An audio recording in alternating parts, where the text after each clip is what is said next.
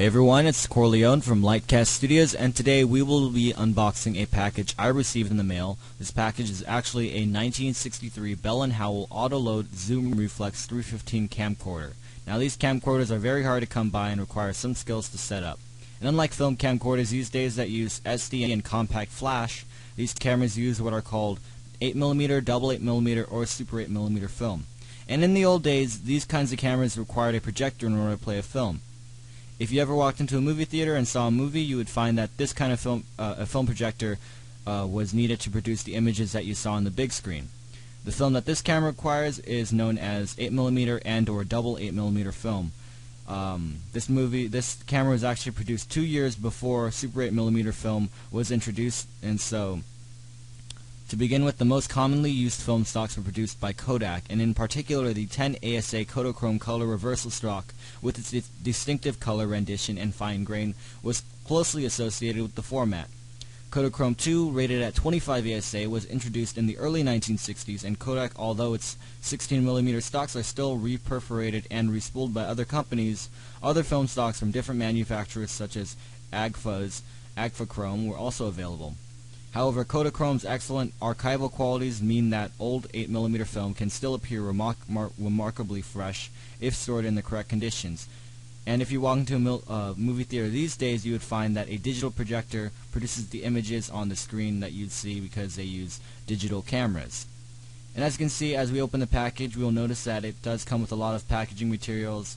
Um, now I bought this from somebody who owned the camera before so it's not going to come with everything you see. As you can see it does not come with the box that the camera actually came with. However it does come with basically everything you would need. Uh, the manual is also not included so I apologize for that as well. So let me just get my uh, hold on. Let me let me get my screwdriver out to pull this thing off because the tape does uh, get in the way if you're trying to talk about what it comes with. And as you can see the case uh, is this is the original case that the camera comes with, the, with the nice little Bell & Howell logo on the front. Now this does show a little wear and tear, as you can see on the side right there.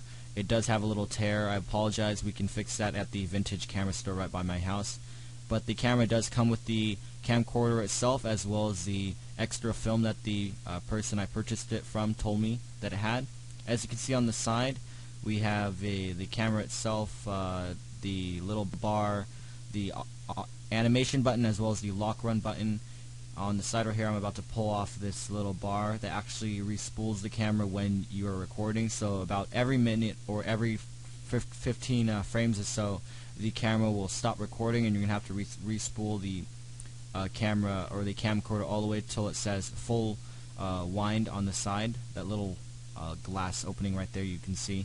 And that'll indicate that you can continue uh, filming but I'm going to lock that up and just show you what else it comes with. As you can see, I'm messing with the animation button.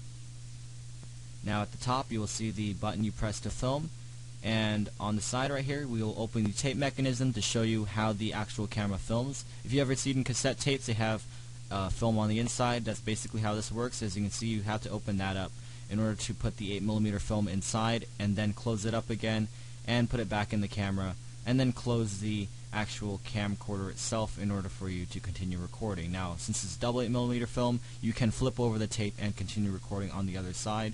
On the front, you will see the actual lens itself. This is a zoom lens, so it will obviously zoom. We have two types, type A and type and haze. Type A is for indoor recording and haze is for everything else.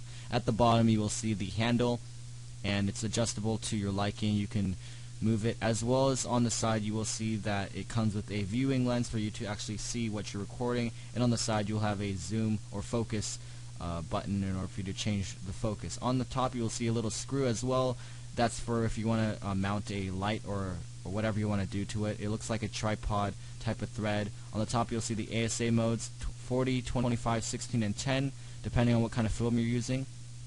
That little metal bar is also for zooming and this is you can also zoom using the actual zoom on the front. I prefer using that, but you are supposed to actually use that little metal bar to change the zoom.